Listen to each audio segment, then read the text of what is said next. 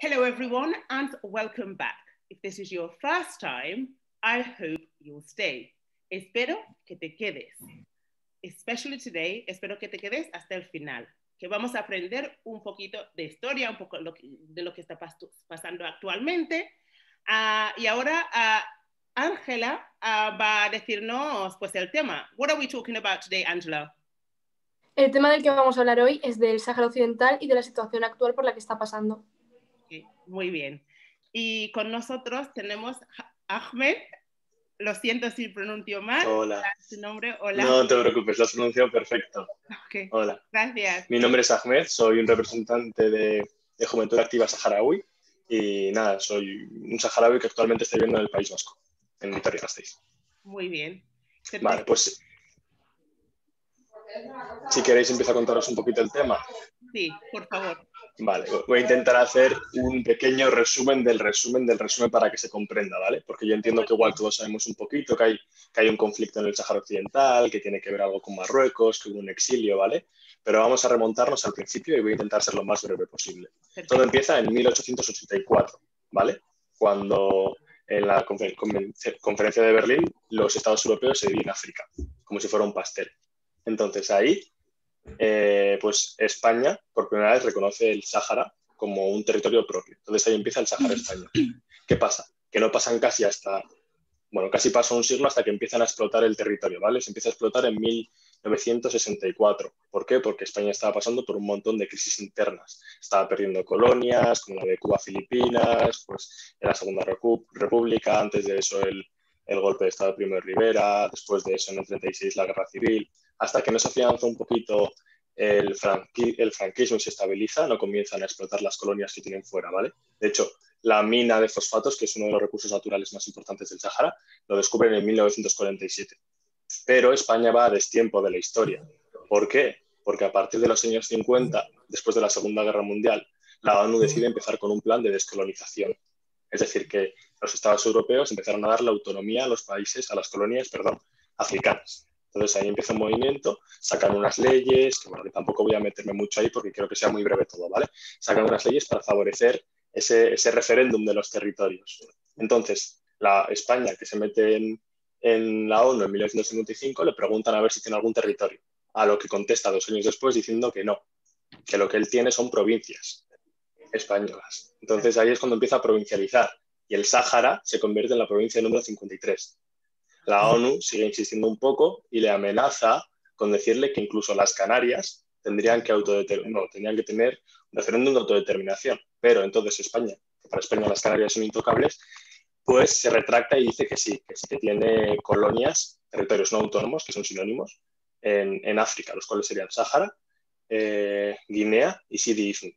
Okay. Entonces, a partir de ahí ya, la ONU mete a el Sáhara como una colonia y eh, a España como eh, la potencia administradora, es decir, el que administra el territorio no autónomo. Vale. ¿qué pasa? Pues siguen pasando los años en los que les van metiendo presión para que hagan un referéndum. Y no es hasta el 74 que ya España cede. Recordamos que empieza a, a, explotar los recursos un poquito tarde, en el 64. Entonces ya en el 74 no puede más con la presión y dice vamos a hacer un referéndum.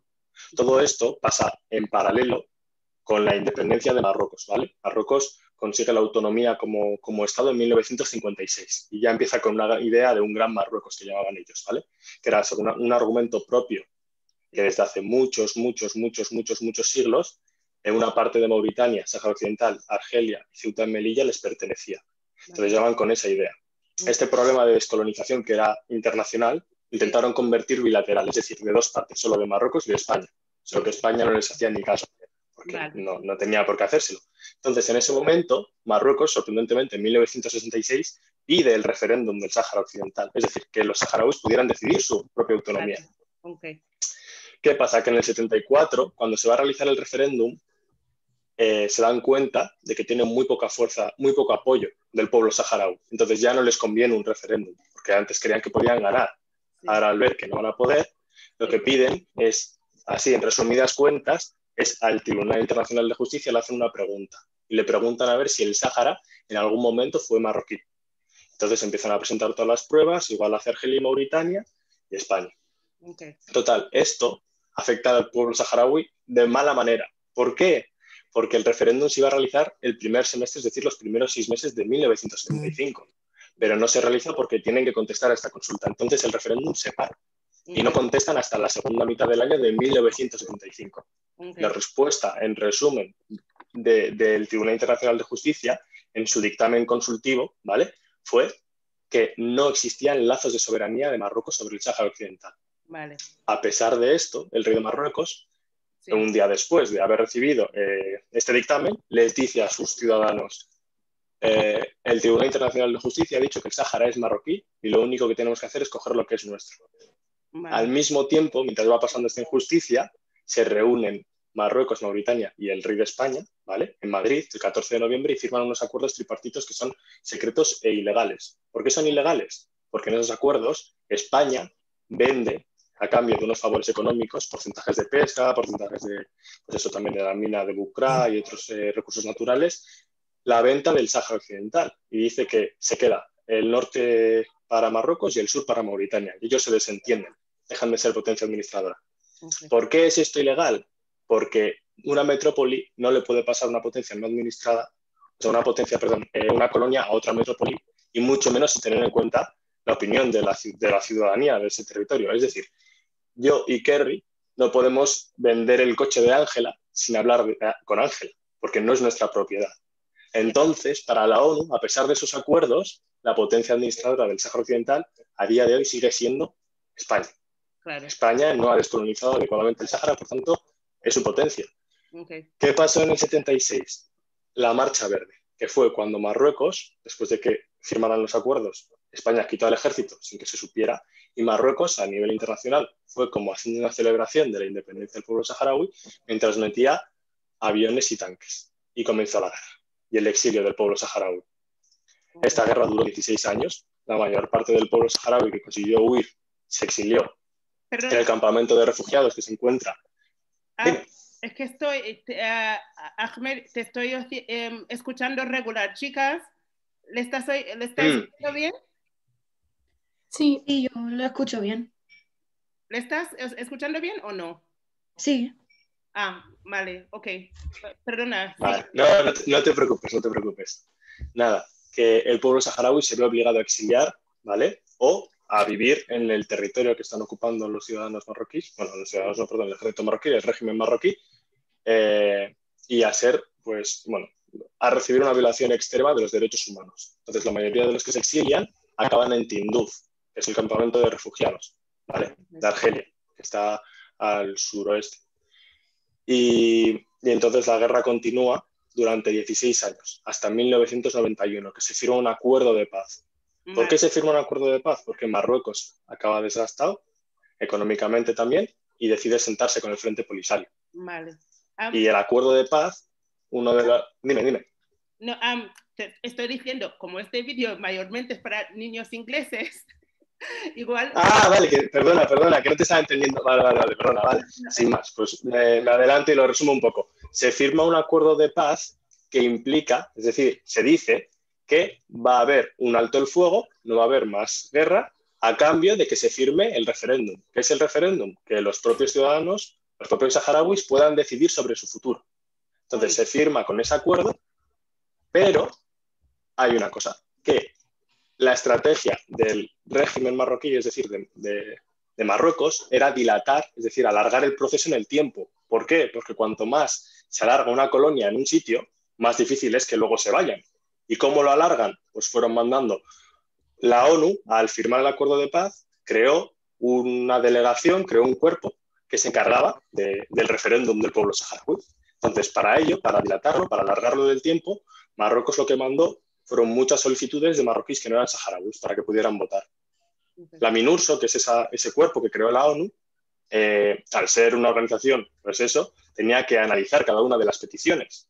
Y al analizarlas, todas, que fueron más de 200.000 peticiones, se alargó el proceso siete años. Después de los siete años haber analizado todas las solicitudes y que la mayoría fueran denegadas, se recurrieron. ¿Qué es recurrir? Se volvió a pedir que las volvieran a analizar, porque permitían esa opción.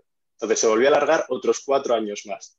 Y una vez, si ya te digo que se firmó en 1991 y se terminaron de analizar en el 2001, 2002, 2003, una vez ya las habían analizado, Marruecos dijo, no estoy de acuerdo con el referéndum porque la MINURSO, es decir, este, este cuerpo que ha creado la ONU, está a favor del Sáhara. Entonces yo ya no quiero, la, ya no quiero el referéndum. Ah, Se le ofrecieron muchas oportunidades que siempre, que siempre denegó. Claro, claro. Y en ese momento ya se vio que, que por parte de Marruecos el referéndum no era una opción y que se había contradecido a pesar de haberlo firmado. ¿Qué ha pasado? ¿Por qué ha empezado la guerra ahora, en el 2020? Porque el pasado 13 de noviembre eh, hay un puntito en el sur de- del Sáhara, ¿vale? Del Sáhara que está en parte ocupado, porque si no sabéis, hay un muro. Cuando Marruecos ocupó el Sáhara, hizo un muro para rodear toda la parte ocupada y que no se pudiera atacar y que vigilaran más. Entonces, hicieron en la parte sur del muro un pequeño agujerito. ¿Por qué? Porque Marruecos, al hacer el muro y al tener malas relaciones con Argelia, se queda un poquito encajonado. No puede negociar con el resto de África por tierra. Entonces lo que hicieron fue un pequeño, rompieron el muro y atravesaban por ahí con camiones. Ah, Pero eso es ilegal. ¿Por qué?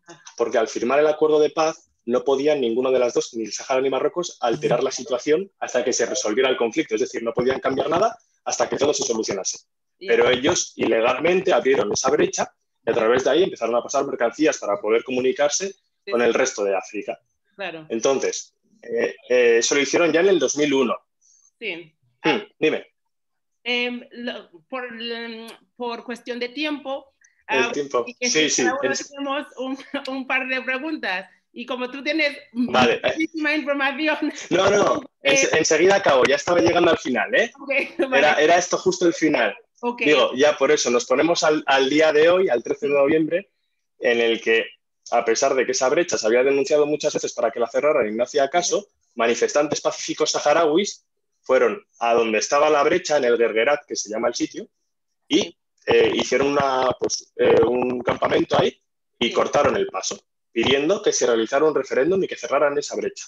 Entonces, ¿qué pasó? Que eh, Marruecos mandó al ejército marroquí y el Sáhara respondió con el ejército, lo que hizo que Ah, se rompiera el alto el fuego y empezara la guerra otra vez. madre mía. Y aquí, Y ya siento haberme eh, extendido, ¿eh? De verdad que intento ser lo más breve posible y me he quitado un montón de cosas. ¿eh? les he dicho a cada uno que, claro, teníamos 15 minutos y estoy... Sí, sí, perdona, de verdad.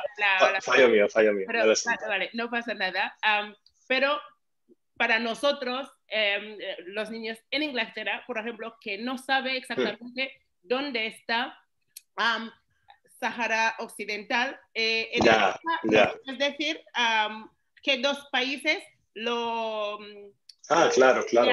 los claro. países, ¿cuáles son? Vale, vale, te cuento. El Sáhara está justo al oeste, está en la costa del norte de África, ¿vale? Y arriba tiene a Marruecos, debajo tiene a Mauritania y a su derecha tiene a Argelia. Vale, Esos serían los países que, con los que tiene fronteras. muy bien. Án- Ángela, am, ¿puedes empezar con una de tus preguntas, por favor? Y yo quería preguntar, ya que los vídeos van dirigidos a niños, ¿cómo está la educación allí? Si pueden ir todos al colegio, si es parecido al sistema que hay en España o en el sitio donde manda los vídeos Kerry. Pues mira, ahora la verdad es que en el campamento de refugiados la educación es muy pobre. Lo que se puede hacer, pues eso, es, es un sitio en el que la gente pues vive de ayudas, vive de, de ayudas humanitarias para comer, la educación también es un poquito básica. La mayoría de los que quieren formarse un poquito más tienen que emigrar o a alguno de los países vecinos como Argelia o Libia o incluso ya pasarse a Europa como es mi caso y el de muchos de los saharauis. Vale. Gracias. Otra, Nada. pre- o- o- otra pregunta, Ángela, y así luego pasamos a Susan. Yo, bueno, yo he buscado no solo del campo de refugiados, sino en general de Argelia y, o sea, perdón, de, de Sahara, Sahara. Y quería preguntar por el tema del patriarcado y cómo afecta también a, a la parte de, bueno, la que nos estás hablando tú. ¿En qué sentido? Como Bueno, la, pues parte del patriarcado, no- ¿te refieres al, fe- al normalmente feminismo de la...? Sí, no, ya que es un país que es machista tal y como está la situación ahora y bueno, son, las cosas son como son, eh, dentro, no sé si sabrás, pues en los campos de refugiados o en el sitio donde están, si eso sigue afectando, si tal y como está la situación da igual y todos son iguales y tienen las mismas condiciones o aún así se siguen notando diferencias dependiendo del género que seas. yo diría que, que a pesar de que puedo llegar a comprender que sentirla como un país machista, no creo que sea tan así por varias razones. Una, porque eh, hay que diferenciar, porque esto suele pasar mucho. Como muchos países árabes no los conocemos, tendemos a, generalizar, decimos como pues todos son lo mismo, pero al final es como si intentaras comparar pues España con Inglaterra y con Francia. Tienen un montón de pequeñas diferencias, ¿vale? Al mismo tiempo también, eh, al haber habido un exilio, muchos saharauis han vivido eh, la cultura de Occidente, donde se han mamado de ambas partes. Por tanto, eh, la evolución del pensamiento cambia mucho respecto a unas personas a otras y que habrá gente más cerrada, como en todas las culturas, lo cual nunca voy a defender, y luego hay gentes que, personas perdón, que se han ido formando más, que han conocido más. Entonces, eh, ¿cómo está el tema del machismo? Sigo pensando que es verdad que estamos en una sociedad que es machista, pero porque por lo general, no tanto solo en, esto, sino en todo el mundo se puede ver claramente, pero sí que consideraría que debido a las influencias tanto occidentales como de cada uno, eh, es un país que se ha formado mucho también a nivel de querer conseguir una igualdad clara. Y se nota mucho, por ejemplo, en, en los que estamos de representantes de Juventud Activa Saharaui, tanto como en el resto de grupos que luchamos por, por eso, por, el feminismo, por la igualdad, tanto del hombre y la mujer, sin ningún privilegio para ninguno de los dos, obviamente, pero siempre respetando al máximo los derechos de, de, ambos, que sí que es verdad que hay que cuidar con mucho cuidado. es verdad. Vale.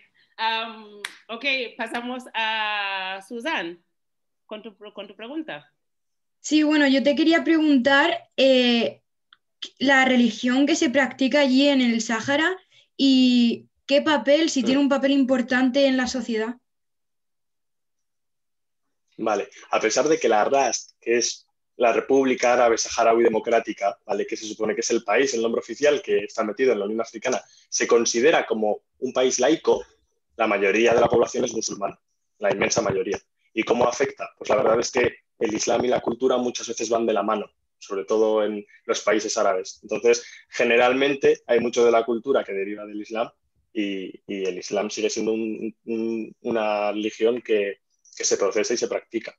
Aunque, como vuelvo a decir, cada país es diferente, entonces hay pequeños matices dentro de cómo se procesa esa religión que van cambiando. Diferentes, pues, cómo entienden las personas el Islam. De la misma forma que la Biblia se puede entender de muchas formas y depende de dónde estés en el mundo, hay, pues, protestantes o, lo que sea, pues lo mismo. Vale. Ok, ¿y otra pregunta, Susana? Sí, bueno, como ahora estamos con el tema del COVID, te quería preguntar cómo se está llevando allí la pandemia y si tienen los recursos necesarios para afrontarla. Pues mira, casualmente soy enfermero y te puedo decir que no, que, la cosa está muy mal porque al mm. final el campamento de refugiados lo que vive es de, ayudas humanitarias. ¿Qué ha pasado? Ahora que se han cerrado todas las fronteras, ha habido un, un tráiler que estaba lleno de medicamentos, de, bueno, sí, de, ayuda, ayuda médica, que no ha podido llegar y que está parado ocho meses, que acaba de llegar hasta justo hace poco. También hace poco salió una noticia que había habido ya tres casos de COVID que habían fallecido y, más cositas. Entonces, es el efecto secundario de vivir de las migajas del resto, de no poder tener un país en el que tú te puedas establecer por tu cuenta y tener unos recursos sanitarios que te puedan ayudar. Entonces, la verdad es que se vive mal, se vive muy mal. Pues Gracias. Gracias. Paula. Hola. ¿Me escucháis ahora? Sí, muy bien. Vale, es que antes digo, madre mía, es que menudo temporal. bueno, pues sí, lo que he podido escuchar muy interesante, la verdad, y es que he estado investigando un poco de algunos programas que, mm, se realizan en España para saharaui. Y, por ejemplo, eh, lo de vacaciones en paz, eh, que se realiza durante el verano para los niños, bueno, la adoptan familias, eh, están durante dos meses aquí, tienen ayuda sanitaria, les ofrecen, bueno, pues alimentación, em, eh, conocimientos, pero claro, y, luego mi pregunta es, ¿todos los niños tienen esa oportunidad o habrá otros que no puedan optar a este programa o, no sé qué se hará en este caso? Por, lo que yo tengo por lo que yo tengo entendido, que tampoco es mucho, sí que sé que la mayoría optan a ello, que también depende de los padres de cada uno para poder decidirlo. ¿Vale? Y que sí que es verdad que lo de las vacaciones en paz, eso facilita que personas, niños de campamentos de refugiados viajen a España con diferentes familias durante los meses de verano y luego vuelvan. Y eso es eh, una locura para los chavales, es, fantástico. Les ayuda a formarse, a conocer más y sobre todo genera muchos vínculos con las, con las familias de aquí, porque por lo general suelen repetir varios veranos con las mismas familias. ¿Qué consecuencia tiene eso ahora mismo? Que muchas familias españolas estén sintiendo que sus hijos han ido a la guerra o están yendo a la guerra. Bien. ¿Tienes alguna Porque es un cambio. ¿Perdona?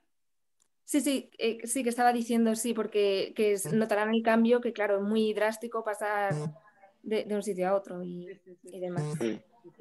Vamos a acabar con una última pregunta y cerramos, porque si no se nos corta, se nos corta. Entonces, una última pregunta de ti, Paula, y cerramos. Mm, bueno, que cómo se podría solucionar, no sé, que los niños tengan más educación durante el año y no solo en periodos cortos, no sé qué se podría hacer. Pues al final la solución más clara es que deje de ser un, país que viva de, ayudas humanitarias, que viva del resto, que viva de, que dependa de lo que los demás le quieran dar. ¿Cómo se puede solucionar? Que se, realiza, se realice perdón, un referéndum pacífico, es decir, los propios saharauis puedan decidir sobre su propio territorio y puedan empezar a desarrollarse como país. ¿Qué implica desarrollarse? Sanidad, educación, gobierno, todo eso fomenta que los chavales ya no dependan de otros países para que les acojan. Se agradece mucho la ayuda que se está dando, pero nos encantaría no necesitar esa ayuda. Y la vía es muy fácil, es un referéndum. Claro, claro. claro. Creo que eso vendrá, ¿ves eso como una posibilidad que es lograble, que va, se va a poder lograr en un futuro no tan lejano? ¿Tú lo ves así? O... Esperemos. ¿Sabes qué es lo que pasa? Que ya se ha firmado varias veces el referéndum y se tendría que realizar, ya se ha hecho hasta el censo, que es cuando cuentan la población que puede votar, lo que pasa es que eh, a pesar de haber ganado juicios internacionales y muchos además, y que haya habido un montón de dictámenes resolutivos del, Tribunal Internacional de Justicia, no se realiza porque Marruecos no deja que se realice. Simplemente son ellos que se están oponiendo a esa realización y que España es la potencia que tendría que encargarse de, descolonizar la zona adecuadamente, pero ahora mismo se está haciendo un poquito la loca, como si no tuviera que ver con ello. Ah, desafortunadamente tenemos que cortar ahí porque me está recordando que ya hemos... Vale, tranquila. Sí. Gracias por estar. And guys, no te preocupes. If there's anything that you did not understand, I'm going to leave Ahmed's um, details so you can connect with him and you can ask any questions that you may have. But until next time, I'm going to leave you with that and um, we'll continue um, in, in, in, in, a second um, class.